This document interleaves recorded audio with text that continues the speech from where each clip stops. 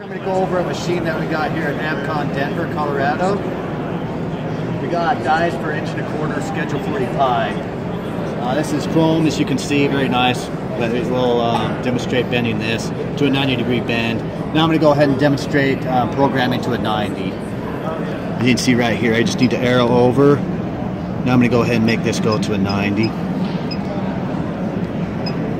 I know I bent a piece of material, it actually didn't bend enough, so I'm actually going to increase that to be a 92 so I get a, um, because of spring back of the pipe.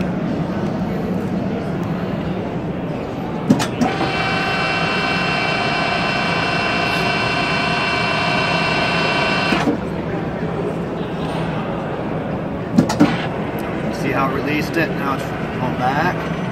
Start position. I just crank it right back.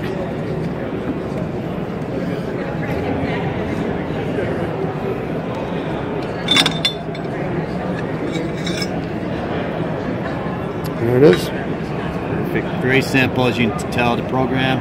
Very easy to set up. Um, seconds as far as tooling change. Lift off. Pop pins out. You can see that.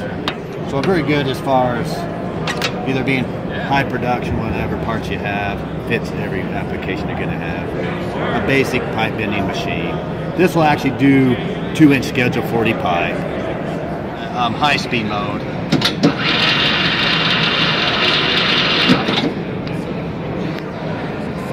Complete a 90 degree band. Simple just to return it next band.